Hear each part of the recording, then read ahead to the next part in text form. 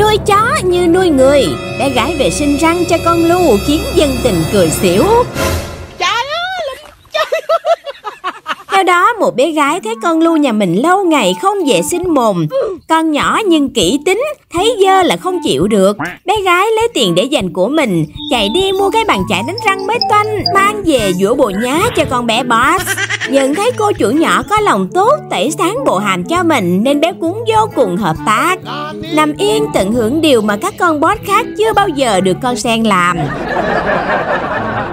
Tuy nhiên nhìn thái độ của bé thì ai cũng nghĩ đánh răng theo đúng nghĩa đen Bởi trắng răng đâu không thấy Chỉ thấy con lu muốn sút bộ hàm ra ngoài Con chó đúng y kiểu Tao đầu thai nhầm nhà Đã nuôi tao còn phải nuôi thêm một đứa báo nữa Bên dưới đoạn clip Hầu hết dân tình đều phải bật cười với tình huống này Mà để lại các comment hết sức hài hước Con chó kiểu Cuộc đời tao luôn ổn trừ những lúc mày đánh răng cho tao Đánh răng xong, nó phát cho cây kẹo sinh gum nhai cho thơm mồm thì đúng bài. Cảm ơn các bạn đã quan tâm theo dõi video.